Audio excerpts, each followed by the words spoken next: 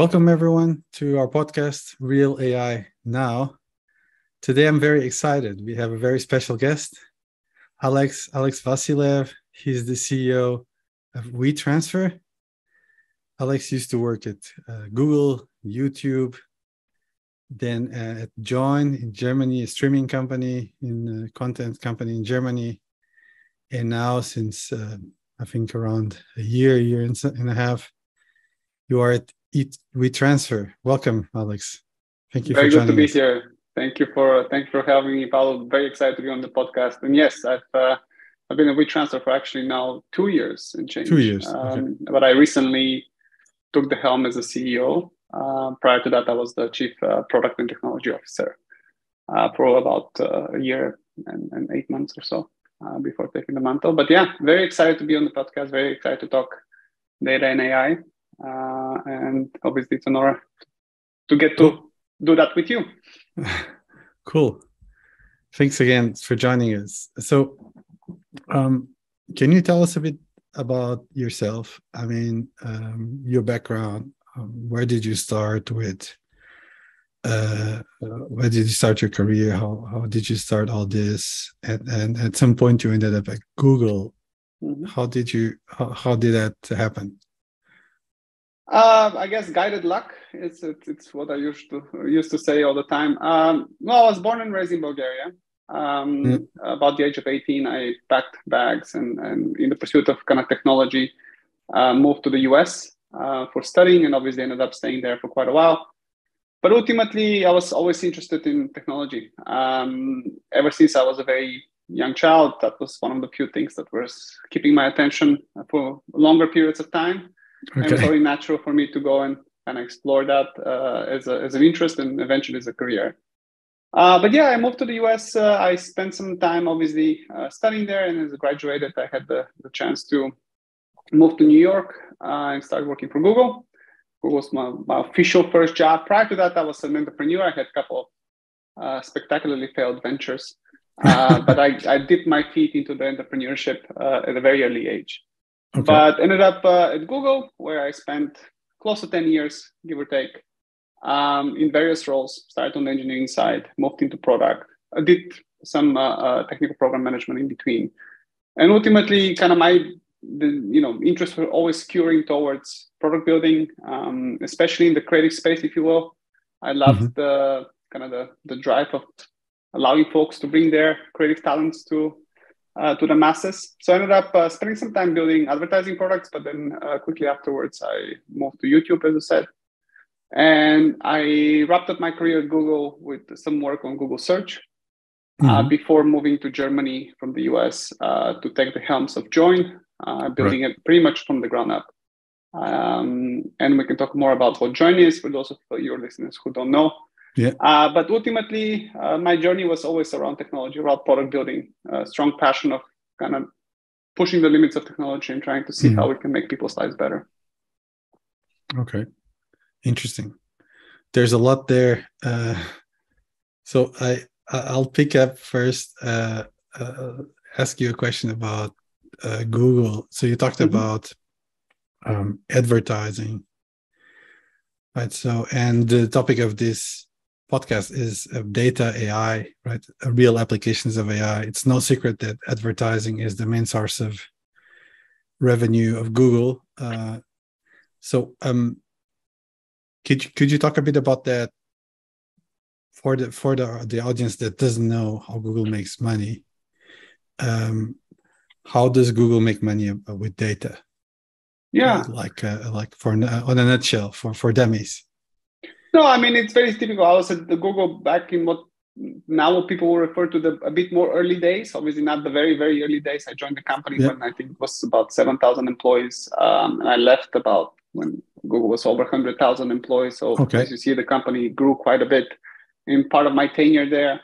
Um, no, but the idea of Google was always about solving problems for folks. Uh, yeah. Monetization pretty much came always second. You know, we famously mm-hmm. had the, the motto of uh, do good by the user and the rest will follow. And the rest did follow. Um, but to your point about data, I think that one of the kind of critical element, elements that allowed us to, to do great products that are used by billions of people back at the time was that we were very focused on solving problems, but to understand some of these problems, you did have to look at data. Now, of course, some of brilliant products like the search engine or, or yeah. uh, you know, uh, uh, Gmail, they came up from great ideas, but ultimately they represented problems. And as you start building products uh, at Google, it was very easy to start, you know, solve some of the, those horizontal problems from many, many, many people, but understanding kind of mm-hmm. where to take this product onwards was mm-hmm. based on a lot of obviously looking at data and understanding trends and understanding where the, the next problem lies. But ultimately, what that allowed is for, for Google to build products that had mass adoption across the planet. Right. Um, and that became a very interesting opportunity then for the company and for advertisers to reach these folks in a very contextually relevant way. So if you think about uh, the early days of search, you search for something um, and the ability to service an ad for that one thing you're searching so you can actually execute your desire, whether that's to purchase or to buy or to read or whatever, mm-hmm. was quite fundamental. And now right. I'm sure that all of your listeners expect that to be part of what we all do, but back then was quite revolutionary. Um, the internet was still a very difficult place to parse and understand and find things. But right. uh, luckily, uh, once you got enough traction of your products, you can think about how do you make the, the lives of your you know of your users better, and that mm-hmm. included monetization opportunities to connect them with the right products, mm-hmm. the right services as they need them. Yeah, I agree with you. I probably phrased it wrongly. Uh, I just talked about the angle of making money. Yeah. But in the end, Google makes money because it creates useful things uh, mm-hmm. for people that people use and want to use. And one of them is Google search. It's obvious, the, the first obvious thing. Uh, people use Google uh, because it worked, it was useful, right? And mm-hmm. that's how it started. Because mm-hmm. if they hadn't created a great search engine, uh, the rest would never have been possible. Then, if you if people are searching for something and uh, you kind of hook people up with a with a, with what they're looking for, something that they can buy, all of a sudden you're creating value for businesses, mm-hmm. for individuals, and for Google. You create a win-win-win situation where mm-hmm. all of them benefit, and that, of course, is value. And value also can also mean money. I understand. Yeah. Uh, so now, could you just give us an example of so people use Google search. Uh, again, this is for uh, probably very basic for you, but people use Google search and they search for things. Mm-hmm. How is that information? How is that data used about what people search for, how people behave, actually to place the right ad when they, um, for example, on Google search, I'm not even talking about the other types of ads, mm-hmm. but the search ads. Mm-hmm how is what data is collected and how is that data used to actually mm-hmm. place the ads that are more relevant for people? So the very basic way of working and i'm sure i'm not telling you anything that you don't know but perhaps it's interesting for some of the listeners is that you know it starts with you have to map the internet first. I mean to make a search engine quite useful. You have to understand um, what's out there and you have to understand uh, what do people mean when they type uh, so if you have such a large audience, then it starts there. For example, when you type wood cutting, but you misspell it, um, how does Google know what you really mean? So it uses a, uh, an incredible amount of information that has built over the years with data to understand mm-hmm. what do people who usually misspell wood cutting, how do they misspell it? And yeah. it's not necessarily personal information, but it's trends of, of usage, right. right? So for example, um, the same thing is, you know, Google might look like uh, look at all, you know, if you type wood cutting, what what are the results that people search for? Uh, when they look at all the results, what do they click for? So you become kind of building this what we call user journeys as to where do people mm-hmm. want to go next. Right. And I'll speak a little bit more to an observation that I kind of built by by spending a lot of time at, at Google was uh, but a bit later. But ultimately, what happens is that you start presenting a valuable information, and usually folks are on a journey, right? Now you mm-hmm. can type what's the weather in San Francisco or what's the weather in, in, in, Lisbon and uh, you'll get an answer or what time it is, you, you get an answer. But ultimately, it almost always is some type of journey. So you, you can see kind of how folks are learning. So you might type wood cutting as the first thing. Then you might type wood cutting for beginners. And then you say the best type of wood. And then you kind of, you can see how people build their journeys of mm-hmm. knowledge on, on something like Google. Um, okay and that presents a great That's opportunity uh, to see. Okay, well, at what point of ad is relevant? So you'll see ads even on the first, which is wood cutting, because Google will use a, a, a lot of signals to say, mm-hmm. well, people usually who look for wood cutting may be looking for tools. Right. But as you go down your journey, as you refine what you really want to learn next, it becomes much easier to surface some contextual advertising, for example, that uh, it's hmm. really relevant to, to what you need. So okay. you might be trying to build your shed in the back with some, you know, you want to get some, your hands dirty um, and build something. And then ultimately, as you as you go down the line, Google will be able to contextually give you better uh, advertising that's more relevant to what perhaps you need. Okay. Um, so ultimately, again, goes but back also to the, the results themselves. They are not ads, right? Like the the just the Google search results, they also learn from what people do. Yeah, I mean, you you do you do have ranking algorithms that will rank the quality of the page. It takes many many many signals as to is that a good page to surface for somebody you know uh, searching for that particular topic. Right. Now, what's really interesting that you can take it further, right? And you see that perhaps if you Google today is that well, if you're looking for transferring a big file and a business like for example WeTransfer yeah it, it's in the business of, of, of, transferring you know big files then what you can do is you can kind of as an advertiser target this this audience that looks for these particular words uh, because you you know those words represent something that you as a company do as a hmm. utility mm. so it, there is a you know google presenting ads but there's also the opportunity for advertisers to target a particular right. audience or particular keywords as you've searched, as, as you've seen. But ultimately, where the goal is, is optimizing your online presence to signify much easier for things like Google engines or Bing or, or DuckDuckGo or whatever engine there is, what your mm-hmm. property online represents. So right. it's quite an interesting back and forth feeding to your point, intent versus utility, intent, utility, and learning right. from that as you go along. So um, maybe this gets a bit more technical. Uh, so uh, you talked about ranking. So ranking algorithms. So basically, your results are ranking ranked in terms of relevance, and that relevance is uh, of whatever. So you type a search, and the search results might vary from person to person, from location to location, depending on their relevance. And this is this kind of ranking. Um, there's an algorithm it's probably Google's algorithm is much more complex, but it's there is a topic called learn um, learning to rank, mm-hmm. which is, which means that the search engine learns over time with um, not only what people search but also where they click. Uh, all these uh, hundreds, sometimes thousands of parameters are used to compute the relevance of a certain thing. So would yeah. would this be a like a, a, more or less accurate description of it?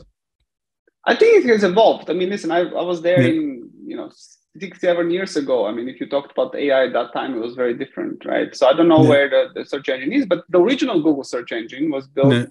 Yeah. Without necessarily an AI component, it was just a lot of good ranking. So it would look at the page and determine if that page is well structured, if the information is useful, and that's why even to, to this day people talk about seo optimization right they, they build yeah. their marketing techniques to make sure their website really can tell that engine who is crawling what exactly that website does so back about, then was yeah. yeah back then I, I, mean my time at google you wouldn't necessarily see different results if you're a different person in different parts of the planet you'll see the same results because if you you know type woodcutting google should be able to give you the best woodcutting um, information that you want um, regardless if you sit in, you know, um, mm.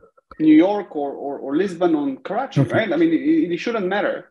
Where it becomes really interesting is, you know, when it becomes a bit more personal, is, you know, people people in many ways, especially nowadays, I presume, use Google for information seeking, right? So, yeah. uh, which means that information seeking not only in general, like a woodcutting, but very specific. So when you type a restaurant name, and you say restaurant name, you know, opening hours. Now, there might be a thousand cities with a thousand restaurants with the same name across the globe. So how does Google know to give right. you the one that's near you? So that's when things like personal signals mm-hmm. around what's your location, you know, uh, mm-hmm. what's your, and this is kind of how you go into this mm-hmm. discussion mm-hmm. as to how do you make things relevant by revealing something about you mm-hmm. uh, to these companies in order for you not to spend three hours searching for the restaurant in that particular city and etc etc etc and to resolve like uh, disambiguate things. Yeah. For example, uh, I, Yeah. I have an example from a few weeks ago. I uh, in San Francisco, we were looking for a restaurant called the restaurant was called North Beach. Know, advertising, free advertising for North Beach. Well, North Beach is actually a uh, like a neighborhood or uh, Yeah. San Francisco. So you type restaurant North Beach, it gives you all the restaurants of uh, in that Mhm, region or that particular restaurant, mhm, which was actually north, not in North Beach, was somewhere else. mhm. So even uh, even Google gets confused sometimes. it's difficult. I mean, again, if you start thinking about the complexity of you know using taking a two to three word input and Yeah. parsing all the information in the world that's online and deciding what is relevant, it's actually quite a It- it's hard. complicated It's task. quite hard. it's quite a complicated task. Yeah. Um, So- because I mean, I, I I spent some time working on on on particular. you also kind a product manager at Google Search, right? yeah, yeah. Uh, so when I was there, we had this interesting thing we wanted to think about, which is, well, how do people learn at, on, on Google? And how do we make the engine more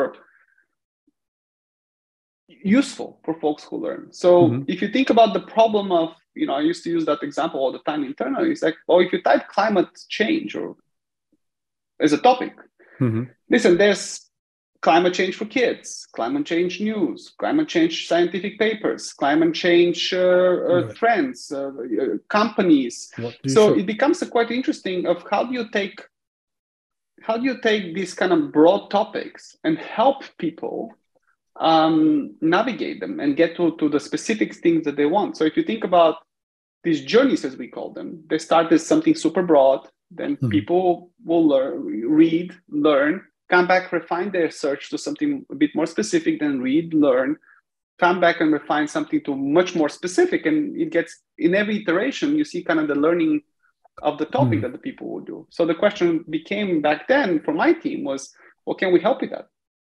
So what is the most natural? So you you you mean like you, you mean like the, the the search results will be actually influenced by your previous searches that you did and kind of give you try They're not- to give you irrelevant results Well- depending on what you search in the past also no, it, it wasn't. It wasn't. It wasn't that. So we we tend we tended to think a little bit about the the, the question of well, if somebody's typing global warming and then the next thing they type is global warming news, what is the most probable next search that they might be doing to refine? okay And the idea became like, well, if we can take a complicated topic and help people navigate to the thing they're really interested in by segmenting, whether that's like um, surfacing, you know, these knowledge cards that are very specific on a specific topic, or presenting additional information for you to quickly go down the Mhm. rabbit hole, if you will, of learning. Um, that was quite an interesting pl- problem because in the end of the day, you know, we all wanted to think we are very, very unique. In many ways, we are um, as people but we tend to follow similar paths. Um, that if you have enough people follow a similar path, you can technically look at what the first couple of searches of somebody going down the, the learning curve.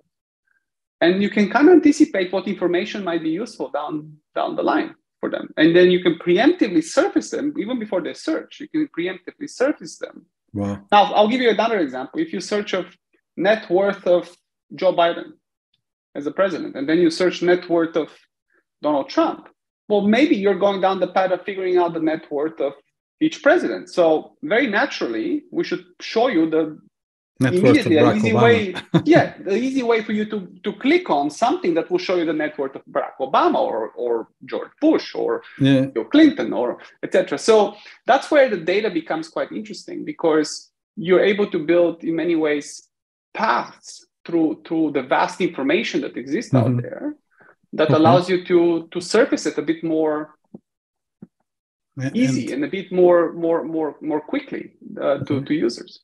So and is this actual ai or is this uh so does this use machine learning No, It when we were thinking it uh, eight years ago, it was an AI. okay So I don't I don't know if that has evolved. Uh, you probably Google could do that specifically. now But if Mm. you can imagine, like more generically, outside of if you just talk about Google, I mean, that vast amount of information by so many people who are doing it, you could, you know, use the machine learning models to anticipate that. Uh, Could do that now, of the believe. businesses. Yeah, well, Yeah. especially with these um, short-term memory models with transformer Exactly. models. You could do that nowadays, I think. Okay. Very, very. Yeah, I'm pretty sure that Google is doing it. Yeah, I, I wouldn't know now, but I mean, it was, as you can imagine, like it, it, it, machine learning is now everywhere around us, whether we see it or not. Yeah. And I think the utility of that parsing of data, which is kind of how I think about machine learning superpower, is parsing large amounts of data and finding patterns. Um, it's quite useful in many, many different ways. Whether it's you know something like Google or mm-hmm. something like Facebook or something like Twitter or or whatever. Um, mm-hmm. But the idea is that we're not that unique in, in our behavior and patterns. so it's, it's in many ways you could not as we think, not easier. as much as we think we are. sadly, sadly, no. Even though again we are unique in many different ways, but um, in, in terms of some of the basic knowledge paths that we follow, uh, we, we okay. follow the same logical path. Interesting.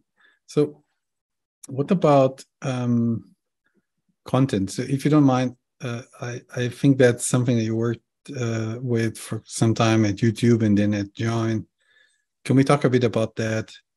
Um, uh, the the data driven and the, the, the, the data driven aspect of consuming content in this particular case video for example at youtube. So what you just described for google search and the way people find and consume information um, how does that transfer to video content? It's very similar right? It's, it's just a different type of information you're consuming. So again i don't know what youtube does per se today but um, i always thought it's an interesting experiment. If you if you have an account with youtube um, and you watch a lot of videos uh, and at some yeah. point your recommendations probably will get into the realm of what you find interesting and it might have some new things it might have things you watch many times because the you know algorithm knows that mm-hmm. you find that an interesting. What a good test is for, for you or your listeners is don't create an account. Go on a fresh you know, browser or a page and start watching videos as you normally would. And I guarantee you at some time, the algorithm will know and will surface pretty much the same things they're surfacing on your logged in account. And that's not because they're not, you know, they don't know who you are or you don't have an account per se associated with this data, but the mm-hmm. data is such that people follow paths. So eventually, if you do it, if you if you take enough steps in a certain path or to kind of show your interest, YouTube or any other platform really will start to understand what's the next thing that you probably want to watch. Okay, so that that is kind of the the topic of recommendation, isn't it? Mm-hmm. Okay, and um, so talking about recommendation, I I uh, I don't know a lot about the topic, but I remember uh, when I uh, dig a bit into the topic a few years back, uh, there was things like uh, collaborative filtering, um, things like um, okay, uh, people who watch this also watch that kind of uh, kind of thing. So um, a bit like at Amazon when you're buying something or you're looking at the product, Amazon suggests people who bought this also bought that, or people who like this also like that kind of thing. Uh, is that is that something that is done with content? Uh, um, it's a good question. Uh, so when I was at Joyn, we were thinking a lot about how do you build the next iteration of a recommendation engine.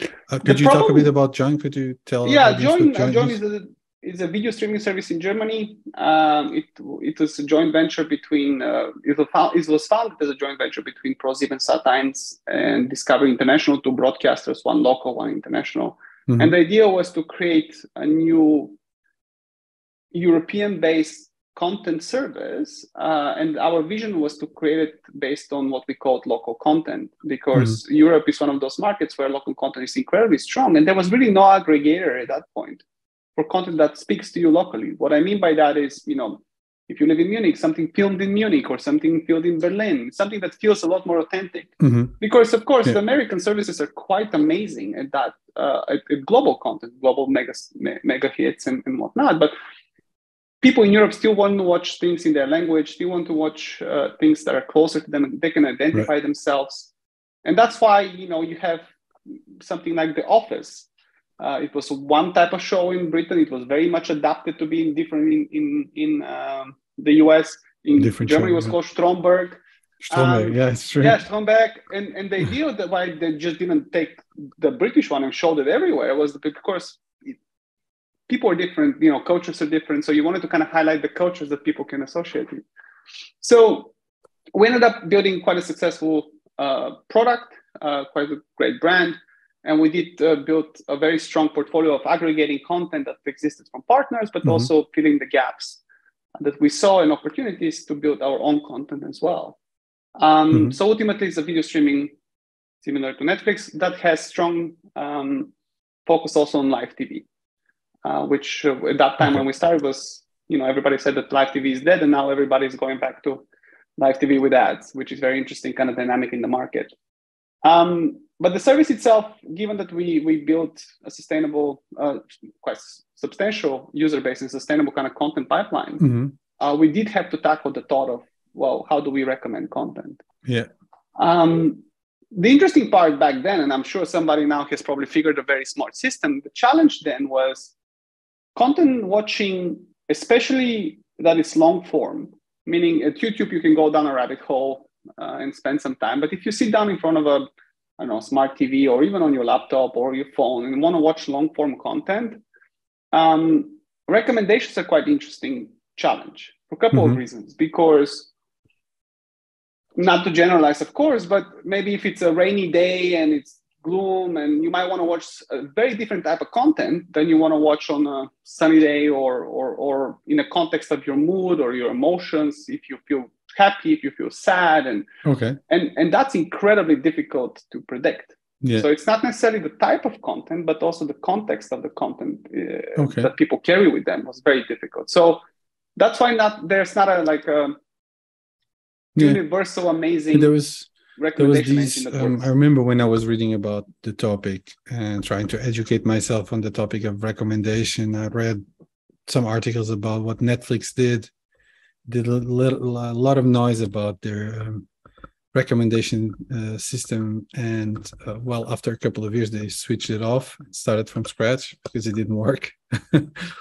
And it didn't at least it didn't deliver the results. People didn't like the recommendations. And didn't use them and it, it, didn't really add value so they i don't know what they're doing today they're definitely recommending content i don't know based on what but they kind of dropped the, the whole original idea they had maybe because of what you what you said because it's just so difficult to predict what people like and what people well, are in the mood to watch. Yeah, I think it's easy to predict what people like. It's very difficult to predict the emotional state and the mood in that particular moment. Mm. Um, and I mean, again, my knowledge is somewhat stale given that I've been out of the, mm-hmm. the, the, streaming business for, for several years now. But mm-hmm. um, kind of the, the, the proven path to recommendation was still the good old, you know, actors, genre, um, settings, um, plot lines, uh, okay. direction that is much had to do a lot less with machine learning or, or algorithmic. It's much more about very simple curation. Um, and you just watch the you know famous you know action movie with someone or a comedy or romantic comedy, and then the next probably will be something along the same genre, or mm-hmm. you have the options to go down on similar kind of content with the same actor. Okay. Um, and I don't think it's gotten a lot more sophisticated, at least from my experience mm-hmm. watching mm-hmm. um, things. But what we did back then at Joyn, we also added the human element. And I think that's where some of the power of this, um, especially on a local level, some of the power of, of kind of marrying data and recommendation engines plus human mm-hmm. curation, uh, it's really shown the strength because you know if you have if you're if, if you work in germany or in the south of germany and, and yeah. you end up having a curation team there and the mood is something or there's news or whatever you can you can kind of overlay the engine recommendation with some kind of contextual recommendation that comes from a human and that becomes a bit more powerful um, okay. but people feel have different emotions at different times so that becomes still still a problem uh, to predict okay interesting stuff um, I, I read at some point, well, and you hear about these things. I'm not sure if they are true. Um, that, for example, well, Netflix or whatever. I mean, I would be interested to know if you know anything about this YouTube or Netflix that they actually look at the data around a particular video or let's say an episode of a, of the office and that uh, for example netflix knows um, how people behave when they're watching their episode so if that episode for example people tend to stop watching it at, at a certain point if they watch it uh, from beginning to end non-stop or if they tend to leave at a certain point or uh, or in the context of a particular series. Let's say people start watching the series, and series one works very well, and then becomes the second one, and this the the second season right comes, and they kind of stop watching it at the third episode. So is this data used in any way to kind of measure the success or to kind of um, I don't know uh, to kind of influence um, anything? I mean, I'm speculating, so I haven't seen it in action. But uh, you know, I'm speculating that it is and it isn't in many ways. So it is to understand um, whether you've built something or you've created something that actually carries interest. But it's less to say, "Oh, wow, people watch this particular scene. We should have more of this scene or this type of humor." That becomes very subjective, and it's very difficult yeah. to measure. Okay. Um, plus, signals are not what I call clean, right? So you might have stopped it for some other reason than just you don't know, you don't want right. the content.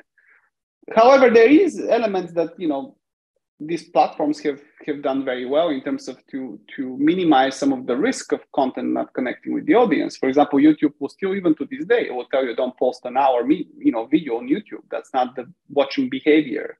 If you want the people to finish your video, you should probably make it a bit short. I don't know what the, the time is now. Back in the day was 15 minutes was the, mm-hmm. the average attention span. So I don't know what it, now it could be an hour. I don't know. Uh, but similar for for Netflix, maybe you know, evening might have a different type of completion rates of certain type of um, uh, shows. Right. It might also, you know, the amount of time you search. Uh, it can also have a ramification of do you want to watch a super long content like a movie or you want to watch an episode of a series. But back at the time when I was involved into the business, uh, we hadn't cracked it yet.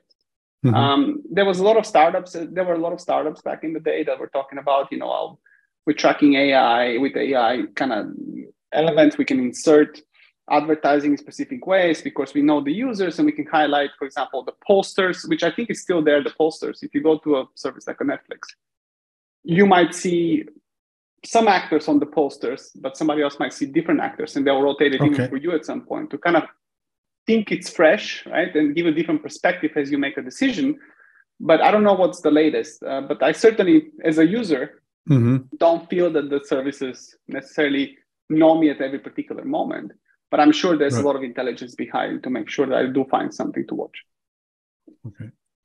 Interesting stuff. So um I I, I want, I'm wondering if um yeah if we get to a point where uh where actually uh, they start analyzing content as a, at the uh, scene level kind of they go down and see okay this kind of scene doesn't work let's start uh, producing more of this and more and less of that and so on.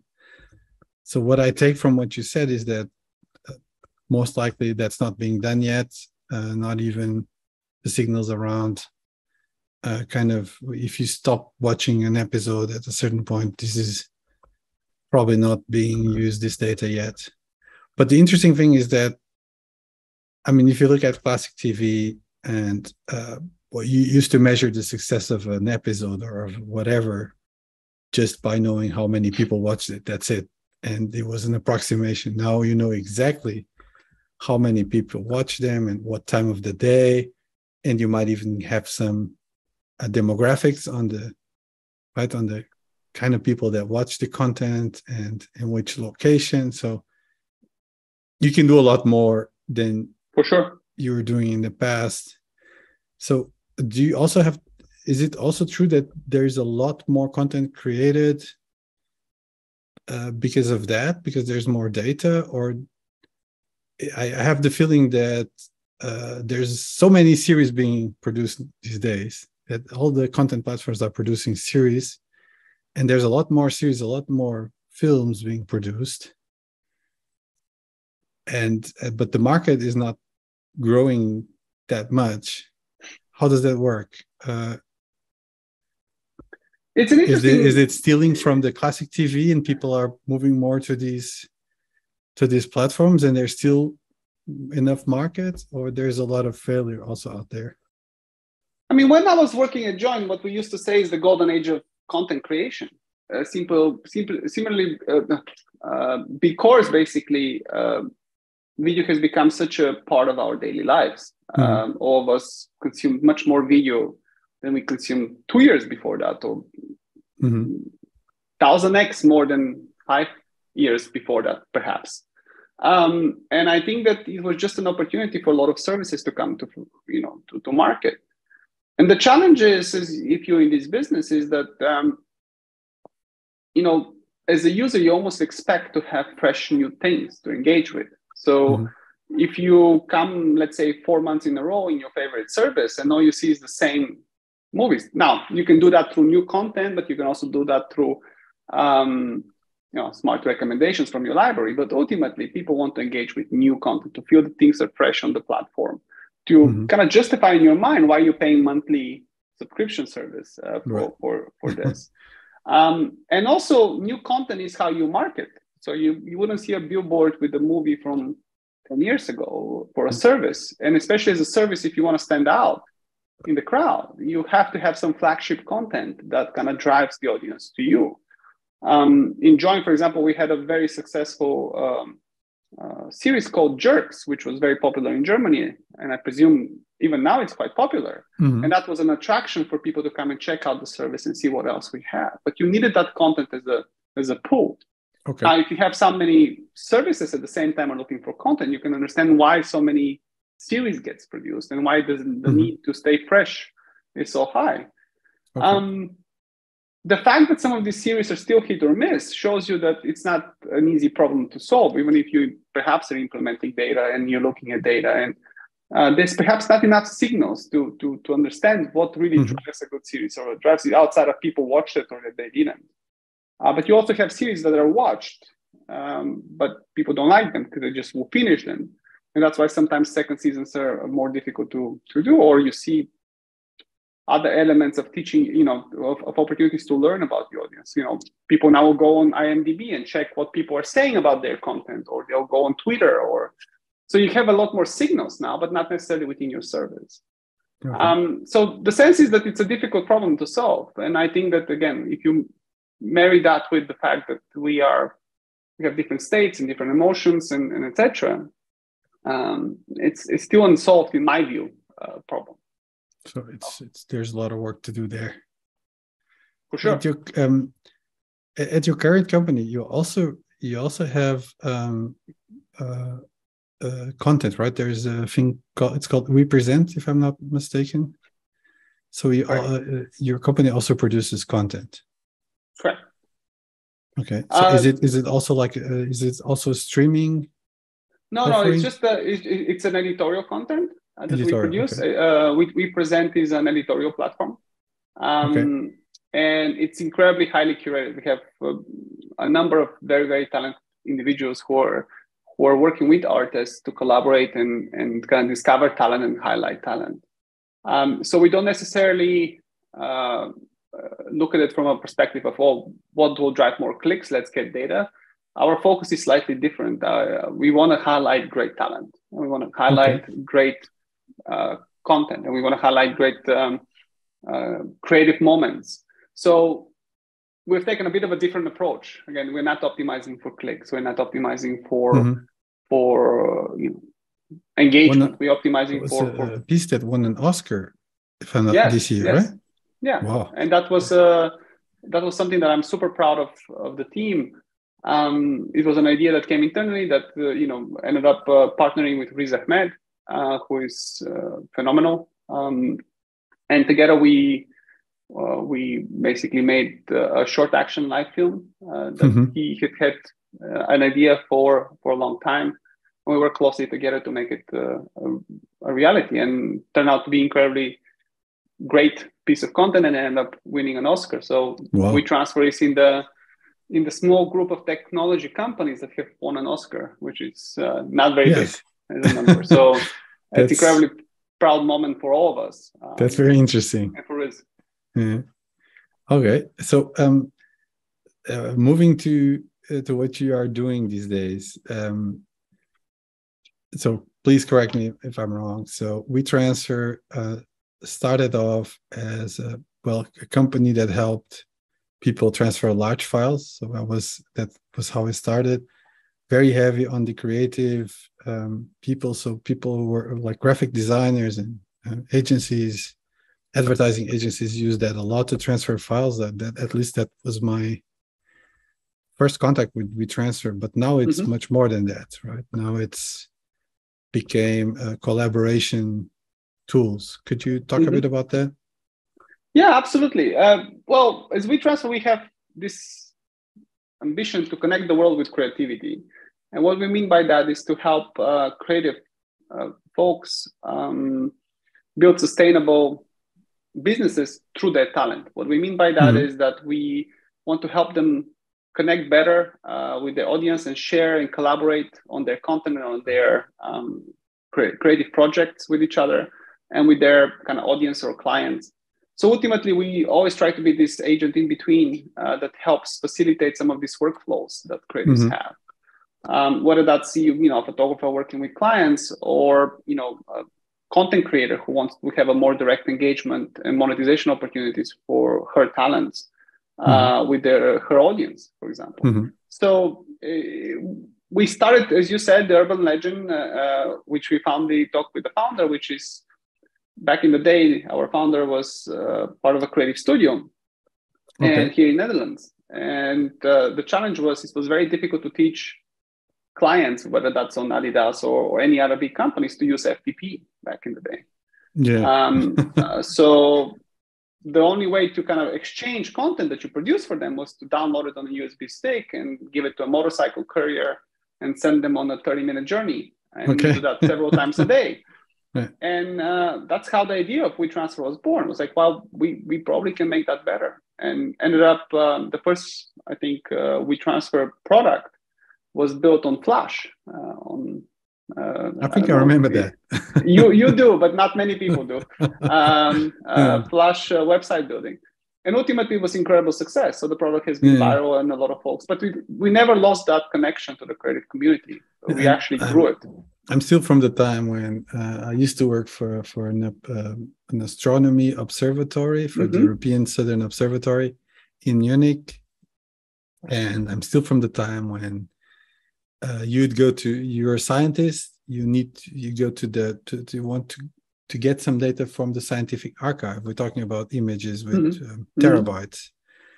So you would go online and you would you would make a request for data and actually the data would be shipped to you so somebody in the in the archive would go and download the data to a hard disk and then ship it to you uh, using yeah. a shipping company so you'd get yeah. a hard disk on your mail yeah because it was you couldn't transfer terabytes of data over the wire uh, mm-hmm. even even today it's slow you can mm-hmm. do it now um, mm-hmm. it just takes a few days to transfer the files but at the time you, you would still ship a hard disk to sometimes very similar problem yes yeah so um so i can relate and uh so and then but then WeTransfer has evolved from that to what it is today and there are there are a lot of more tools than just file transfer. Correct correct. So today what we've built is it's basically a platform and an ecosystem of, of capabilities that stem from this strong use case of transfer which is still how do i share my content with with many many stakeholders? Or how do i share with clients in a, in a way that it's you know very easy for them to understand very easy to access? And we basically don't stand in between um, you and your audience whatever that mm-hmm. audience is and what we've done over the years is that um, we've expanded our capabilities to add on top of um, transfer other you know utility so mm-hmm. for example this year we launched something called portals and reviews which is an opportunity for photographers, for example, or other creatives to bring their clients in this branded environment where they can receive feedback, where they receive um, approvals, where they receive uh, uh, different type of uh, uh mm-hmm. information back from their clients. because if you think about it, even today, you know, if you send somebody something, whether you send it over email or or or, or another for, uh, you know, medium, you have very little control of who sees it, how they consume it. Uh, you have very little um, kind of focus on how you receive that feedback. Mm-hmm. You might receive it over text message or over email, or mm-hmm. it's very difficult to have this back and forth. And what that creates in creative projects is usually a scope expansion, time expansion. It's, it's actually quite difficult to manage, especially if you have multiple clients.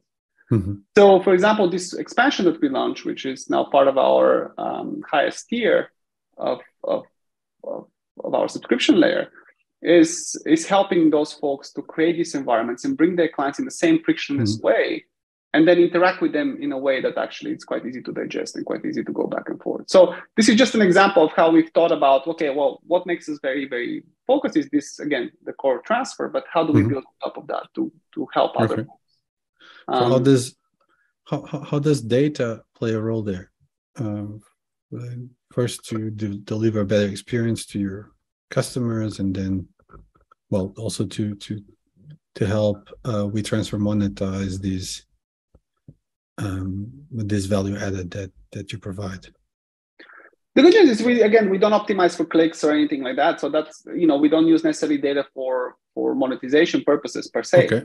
um, but i think that you know as anybody will probably tell you to build a, a great product you do need to understand have you created somewhere any roadblocks have you yeah. is your user experience up to par with what you think it is. And for that you need to understand how people use it because again you look at it and day in and day out as you build it and so you need to instrument the... understand it yeah. Uh, however folks will come in they have to get it and you, you understand that through data. So we are very data driven again um, mm-hmm. we're also quite responsible. We are a certified b corp. Um, we deeply care about how data is used and deeply care about mm-hmm. um, kind of privacy and and uh, and and all these mm-hmm. elements of kind of top of mind that for you and for me are as a consumer. Um, so we are very respectful in terms of what data we collect. So ultimately, what we look at is, you know, does the product work? Where are the roadblocks? Right. Um, what can we optimize? Which flows optimize? And what are we not doing great, right? So if, if, if we see opportunities for us to expand and, and we, we marry qualitative and quantitative data. For example, as we thought about portals, we did speak to a lot of users and say, hey, you send files to your clients, what is missing? Um, right. Or they say, well, scope feedback, approvals, etc. So you learn, and then you see the, you know, you build it, and then you see the um, quantitative data so uh, that shows you that like people actually user, are using that. And so you actually do way. user tests and right. collect data like in more, right, in more classic way. Okay. Correct. And, and, then compare that data with the instrumentation data from the tools. Correct. Okay.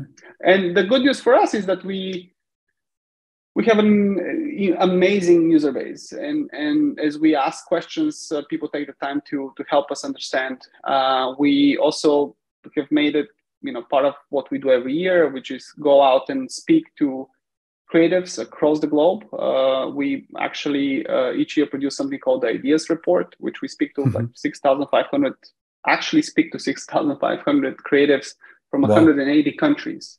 Okay. So we understand trends. We see how they're thinking about their business, how they think about wow. things like sustainability and their workflows, and we try to understand them very deeply. So you collect data in an old school kind of way still yeah okay that's interesting it works. It, it's amazing to kind of understand from the people that actually use your but again you have to be lucky in many ways. We are very lucky that we have folks who are willing to engage and, and give us their insights and um, help us by, my impression my impression is that you have quite a um, quite loyal customer base uh, these creative people they, they tend to use these tools and all right. Yeah, we are. I mean, we're we're honestly we're humbled by that, and and one of the things that keeps me up at night is how do we make sure that we never betray that trust, um, yeah. and how do we make sure that we continue to deliver value above and beyond what somebody might expect from a service or or a company like ours. Mm-hmm. Um, and as long as we do that, I think we'll be okay. But ultimately, to do that, you do need to learn uh, from your users. You do need to understand how their work is changing, what are some of the trends they're seeing um, and what are your tools helping with and what your tools can help with more mm-hmm. in the future so how do you how do you see the future um, in terms of and i'm trying to yeah pull the conversation back to the ai topic um, and how do you see uh, the future of of WeTransfer uh, of of this industry the creative industry and how ai um, artificial intelligence uh, can help um, in the future yeah it's a it's a great question i think all of us are asking us you know ourselves as we read yeah. every day what is kind of the next iteration of, of creativity i think if you if you scroll back 15 years you know back then it, even at youtube you know youtube was created as a dating site video dating site nobody had the concept of mm-hmm. Creatives uh, or creators uh, for Yeah. that matter. And now as you can see this is one of the most fastest growing segment of, of the global economy. And, and just the, the sheer change that we've seen in the last 10 years of video consumption people projecting their talents from youtube to tiktok to snap to whatever um, it's quite interesting because you look at that and say well imagine what's going to happen in 10 years and we're already seeing some of these you know trends that are emerging right we obviously now it's a bit of a what they call crypto winter but ultimately, that idea of NFTs and decentralization, the ability to um, directly, without a middleman, engage with your audience, that's quite interesting to kind of see how it evolves. But you also Yeah. have, you know, AIs that are winning art competitions by, you know, creating content. And, Right. And and that's Uh, AI is writing content, uh, compu- composing music, Composing uh, music and- and- generating images, art. Yeah. art. Yeah. So as you think about this, you start to think, well, what what is really a crea- creativity, and how can we Right. how, how is it going to evolve so i spend a lot of time trying to kind of again talk to folks understand uh, keep an eye on these technologies to to see where where the kind of the, the, the flow of creativity is going to change in the future but it's very difficult to predict It's a bit Um, threatening for the creatives out there thinking that machines could actually do a part of their work, at indeed. least a part. indeed it, uh, some creators are, are worried on the other hand maybe we get to a future where the value of a human creation is much higher than the you know we Yeah. don't know where, Maybe where there, or maybe develop. there's things that creators do that are boring that they need to do anyway, and they could be done by a machine instead. Uh, And don't know, don't, like don't retouching a picture, retouching a Yeah. picture, Oh, for some color. Yeah, yeah, yeah, exactly. So I think it's going to be some type of perhaps intertwined between the human element and, and the machine element. But also, on the other hand, you know, uh,